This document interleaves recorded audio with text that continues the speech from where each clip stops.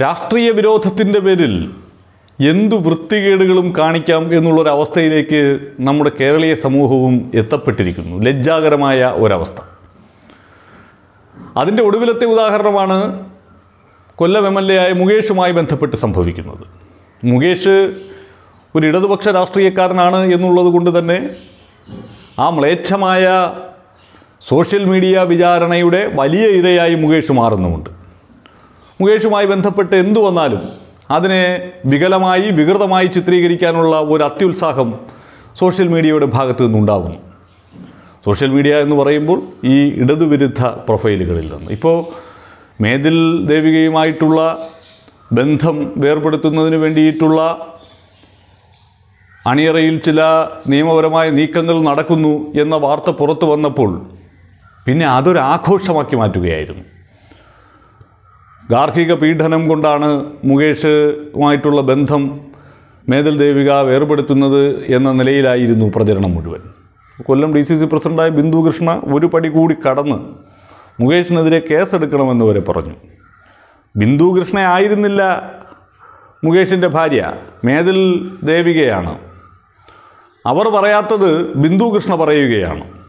അതുകൊണ്ടാണ് മേതിൽ ദേവികയ്ക്ക് മാധ്യമങ്ങളുടെ മുന്നിൽ വരേണ്ടി വന്നത്. തികച്ചും വ്യക്തിപരമായ ഒരു കാര്യമാണ് ഈ വിവാഹമോചനം എന്ന് പറയുന്നത്. ആ വിഷയത്തിൽ ഗാർഹിക പീഡനത്തെ കൂട്ടിക്കെട്ടാനുള്ള ശ്രമത്തിനെതിരെ മേതിൽ ദേവികയ്ക്ക് കൃത്യമായ നിലപാട് പറയേണ്ടിയും വന്നു. ഈ വിവാഹമോചനം എന്ന് പറയുന്നത് അത് പൊടുന്നനെ എടുത്ത ഒരു തീരുമാനമായിരുന്നില്ല എന്നും തെരഞ്ഞെടുപ്പിന് മുമ്പേ തന്നെ ആലോചിച്ചുറപ്പിച്ചതാണ് എന്നും തെരഞ്ഞെടുപ്പ് കഴിഞ്ഞതിന് ശേഷം അത് ചെയ്താൽ മതി എന്ന നിലപാടായിരുന്നു സ്വീകരിച്ചത് എന്നും അവർ പറയുന്നു. അപ്പോൾ വ്യക്തിപരമായി രണ്ടുപേർ തമ്മിൽ യോജിച്ചു പോകാൻ കഴിയില്ല എന്നുള്ളതിന്റെ അടിസ്ഥാനത്തിൽ അതിലൊരാൾക്ക് തോന്നുന്ന ഒരു കാര്യത്തെ മുകേഷ് മേതൽ ദേവികയെ ഇടിക്കുകയായിരുന്നു കുനിച്ചു നിർത്തി ഇടിക്കുകയായിരുന്നു ചാടി ചവിട്ടുകയായിരുന്നു മടൽ വെട്ടി അടിക്കുകയായിരുന്നു എന്നൊക്കെ തരത്തിലല്ലേ പ്രചരിപ്പിക്കാൻ ശ്രമിച്ചത്? അതിനൊക്കെയാണ് അവർ മറുപടി പറയുന്നത്. അങ്ങനെ ഒന്നുമില്ല എന്ന് അവർ പറയാതെ അല്ലെങ്കിൽ അങ്ങനെ ഉണ്ട് എന്ന് അവർ പറയാതെ നമ്മളൊരു തീർപ്പിലെത്തുന്നത് എന്തിന്? ഇത് ഈ വിവാഹബന്ധം അത് വേർപെടുത്തൽ എന്നൊക്കെ പറയുന്നത് രണ്ട് മനുഷ്യരുടെ തികച്ചും വ്യക്തിപരമായിട്ടുള്ള ഒരു കാര്യമാണ്. ആ കാര്യത്തിലേക്കാണ് ഇവിടെ രാഷ്ട്രീയ കണ്ണോടുകൂടി അങ്ങ് വല്ലാത്ത ആവേശത്തോടു കൂടി ചാടി പുറപ്പെട്ടത്.